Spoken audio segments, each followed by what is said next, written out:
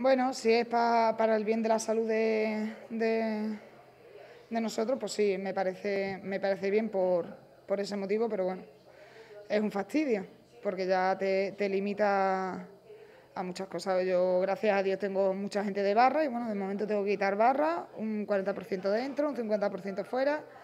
Y bueno, con el tema de los toldos también, pues te limita todavía el doble. Entonces, pues va a ser una ruina, va a ser una ruina para los hosteleros. Y bueno, y pienso que se podía hacer de otra manera, pero bueno, ya está, han dicho que se haga así y así se va a hacer. Sí, claro, eh, y el mío de los bueno malo, pues mira, pero hay bares que son todavía más chiquititos. Entonces, no es que te limiten, es que no puedes hacer nada. O sea, no para cenar, para gente que les gusta la barra. De hecho, hay gente que se van. O sea, no pueden estar en barra se van. O sea, es una pérdida inmensa para, para lo que es los hosteleros, para todos los hosteleros.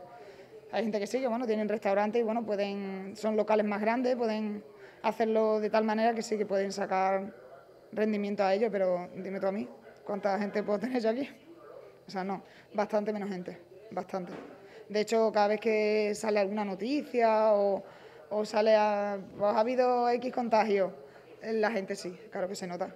Ese día no te viene nadie. Ayer no tuvimos a nadie por la noche.